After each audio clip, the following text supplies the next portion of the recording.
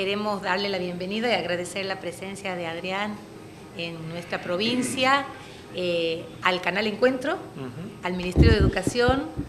que en el momento que nos plantearon esta posibilidad, la verdad que para nosotros fue un gusto y un placer poder aceptar este desafío de, que Adrián esté en Santiago con nuestros chicos, porque creo que ese es el, el objetivo principal y último que tenemos todos y desde este ministerio obviamente que nuestros alumnos puedan tener este espacio, así que muchas gracias Adrián por estar en Santiago, bienvenido todo el equipo. Y bueno, ojalá que podamos disfrutar de este encuentro que nos espera en el fórum, que nos esperan mil alumnos allí para poder disfrutar de esta valiosa y distinguida presencia que tenemos en Santiago del Estero. No hay nada que agradecer porque esencialmente esto es un, derecho que tienen los santiagueños, como tienen los tucumanos, los, los chubutenses y todos. El, canal es de todos. Entonces nosotros al contrario sentimos una deuda de estar en todas partes como corresponde. En cuanto la gente del Ministerio de Educación de la Nación habló...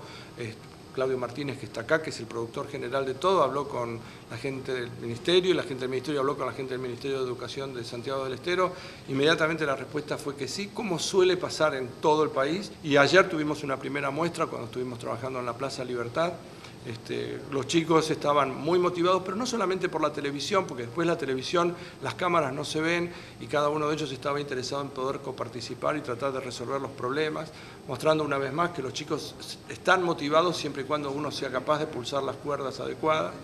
Y de hecho eso fue lo que terminó pasando ayer, cuando uno de pronto ve que está estimulado por algo, tiene ganas de coparticipar y de cooperar y de hacerlo en conjunto y de sentirse eventualmente y ver que yo también soy vulnerable como cualquiera de ellos, este, que cometo errores, que me cuesta trabajo las cosas y ese es el mensaje que queremos dar, la prueba y el error, que es la, la vida de un científico, es estar probando y es estar equivocándose y algunas veces, pocas, se acierta. Entonces, en general, tenemos que dejar ese mensaje para la sociedad, que somos todos vulnerables, todos falibles y que cometemos errores y de la sucesión de potenciales errores aparece eventualmente alguna solución.